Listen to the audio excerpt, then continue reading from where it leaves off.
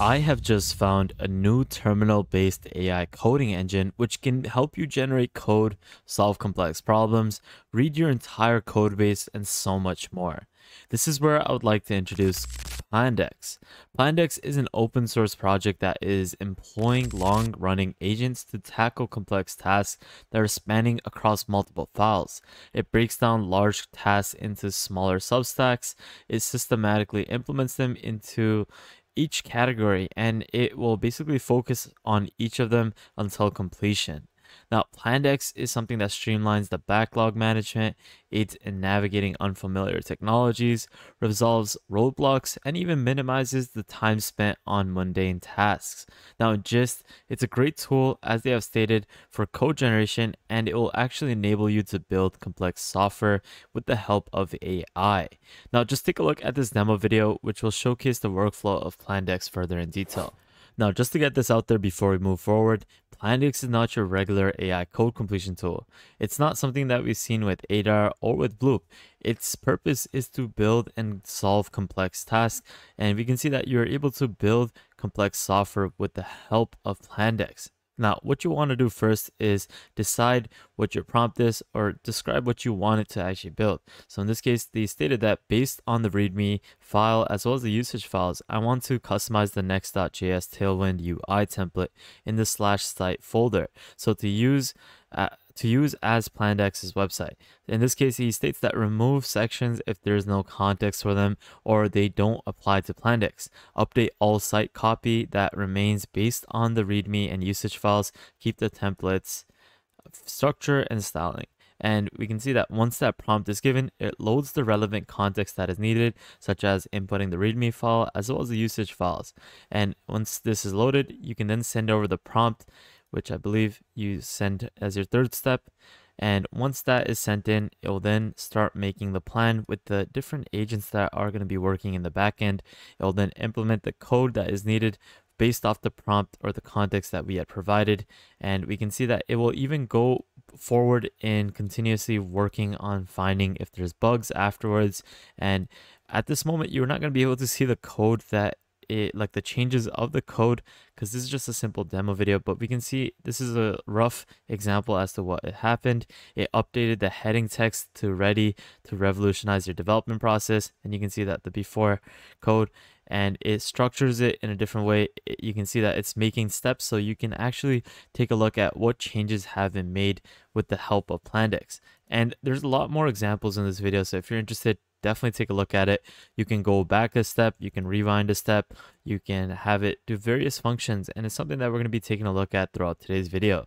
So with that thought, guys, I hope you enjoy it. Stay tuned. We're going to be taking a look at Plandex further in detail. So with that thought, guys, let's get right into it.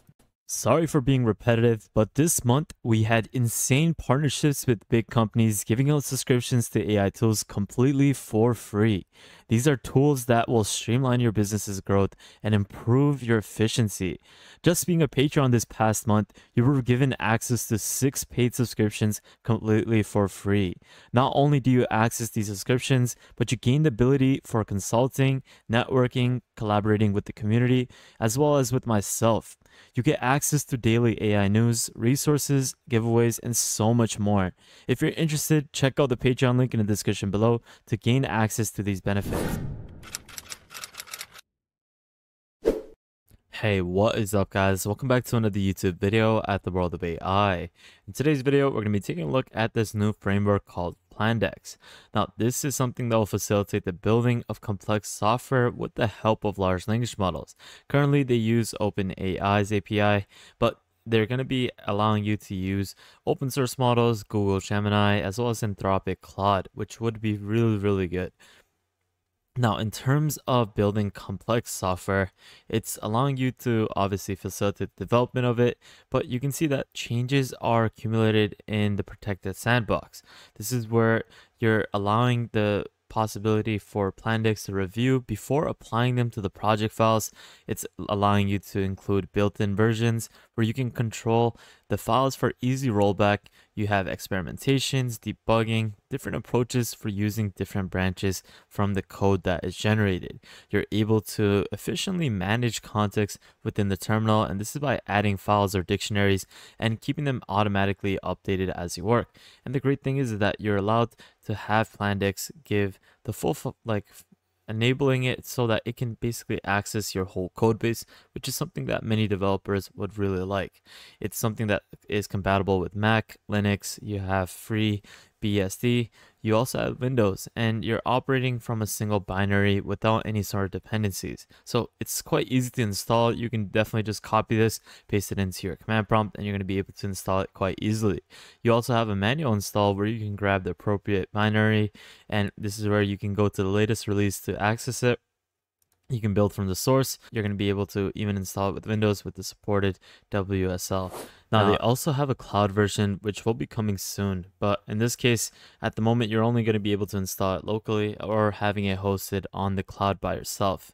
Now, there's a couple of limitations that you want to keep in mind. And this is something where Plandex can provide significant boost to your productivity. But as with any other AI tool, you shouldn't expect perfect results, meaning that there's going to be hallucination. There's going to be times where it's not going to be able to generate the full context that you that you would want it to actually generate. Now, they stated that LMs may not always provide perfect file updates, and this is to the reasoning of limitations that a large language model may have. And this is where they stated that you can use the plandex changes command, and this is to improve the results and review updates that have made mistakes previously and you can correct them manually. So you can clear the context, you can improve the results, and you can experiment with the Plandex Rewind feature, which will definitely help you out as it's something that branches for better outcomes and it will actually make sure that you don't make the same edit across the whole code base. So if there's a like a hallucination in the code or an inaccuracy, it won't make the change to the whole code base. It'll create a separate file so that you can basically rewind and go through the code to make sure that if it's actually something that you would want to implement towards the words, the whole code base. So that's a really cool nifty feature, but that is one of the limitations as the LMs may not always provide perfect lines. And this is kind of understandable. If we've seen this with many other projects. So that's just one thing you would want to keep in mind whenever you work with any sort of framework or coding tool. If you would like to book a one on one with me where you can access my consulting services, where I can help you grow your business or basically give you a lot of different types of solutions with AI, definitely take a look at the calendar link in the description below. Now, I'm probably going to make another video once they have a cloud set up because that's, I think, one of the ideal things for new coders. And I think that whenever there is that cloud setup, it'd be easier for anyone to access. So I'm definitely going to be making another video to showcase the overall platform and showcase how you can get started. They have a roadmap where they're going to support open source models. They plan on sharing and having this team collaboration system where multiple people can work in a single workflow. You have the ability to support GPT-4 vision and other multimodal models, which would be really cool. JetBrains as well as VS Code integration.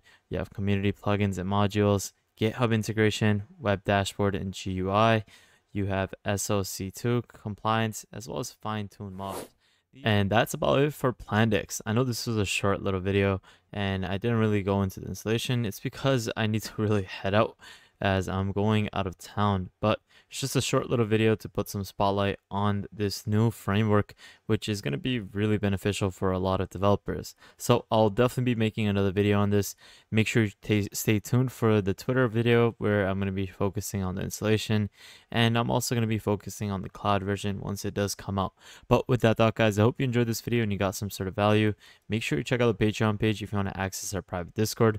We're actually giving away a subscription to Nexus GPT for the full year. So make sure you sign up before April 30th. If you haven't already, make sure you check out our Twitter page. This is a great way for you to stay up to date with the latest AI news. And lastly, make sure you guys subscribe, turn on the notification bell, like this video, check out our previous videos so you can stay up to date with the latest AI news. But with that thought, guys, have an amazing day, spread positivity, and I'll see you guys fairly shortly. Peace out, fellas.